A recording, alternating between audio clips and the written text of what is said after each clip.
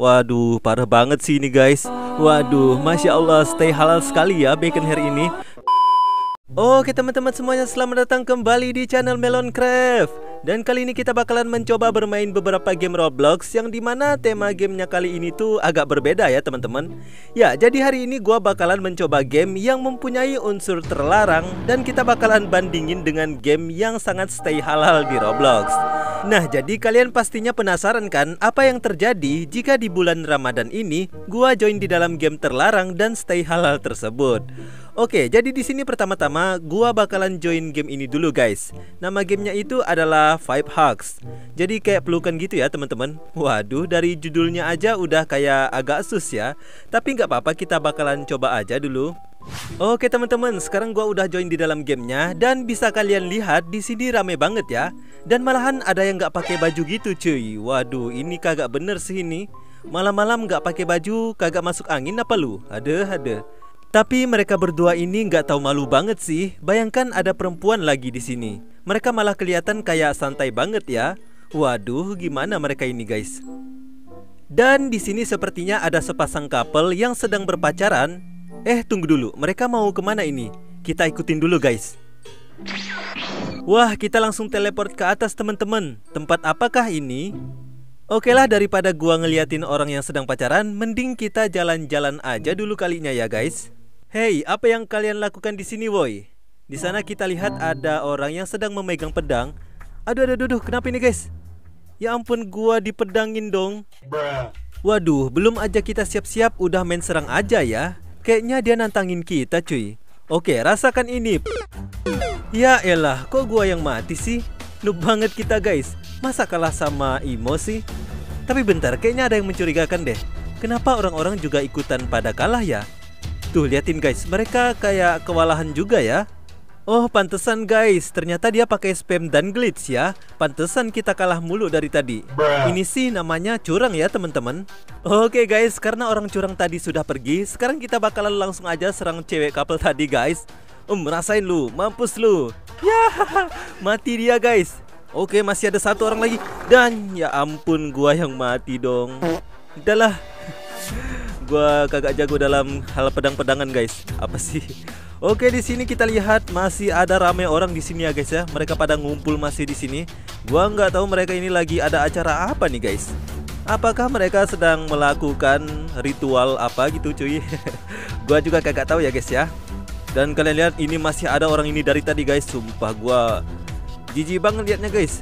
Dia nggak pakai baju di sini ya. Mana tampilannya kayak iblis lagi atau dia ini memang iblis guys Gak tahu juga lah ya Oke teman-teman sekarang gue udah join di dalam game yang kedua Nama gamenya itu adalah Public Bathroom guys Jadi kayak tempat pemandian umum gitu ya Tapi di sini malahan digabung guys Antara cewek dan cowok ya teman-teman ya Seharusnya nggak boleh sih ya Tapi ya udahlah kita bakalan cobain aja dulu dan bisa kalian lihat di sini, waduh parah banget guys. Ada cewek dan cowok sedang berpacaran di dalam tempat mandi ya.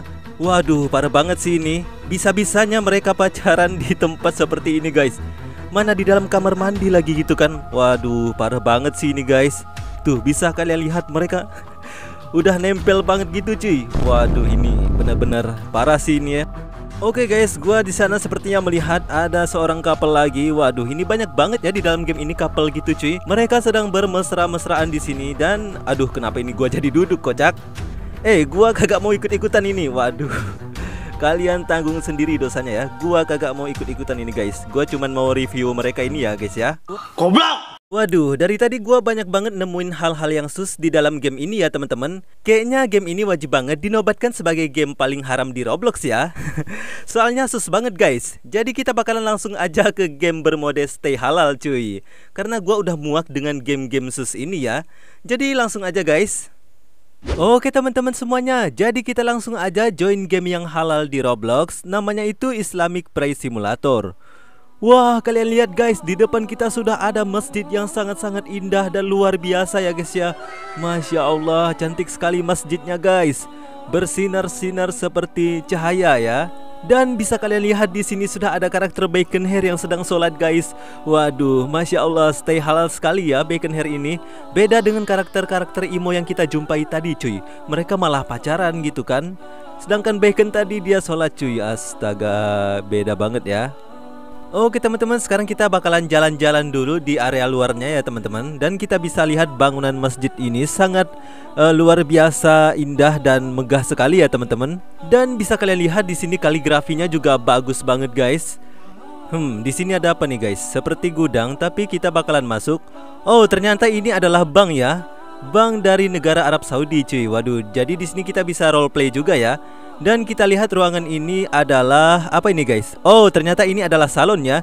Jadi kita bisa kayak cukur rambut gitu cuy. Waduh, mantap ya. Oke lah teman-teman, jadi ini adalah game kedua yang gua mainin e, Sama juga ya judulnya kayak Mekah atau Islam gitu cuy Kalian cari aja sendiri Dan bisa kalian lihat di sini outfitnya guys Sangat stay halal semuanya ya Semuanya serba tertutup cuy Waduh, ini menggambarkan islamik yang sangat-sangat indah ya Oke lah teman-teman semuanya, jadi menurut kalian dari beberapa game yang telah kita mainin tadi, kira-kira menurut kalian game yang mana yang paling tidak pantas untuk dimainkan?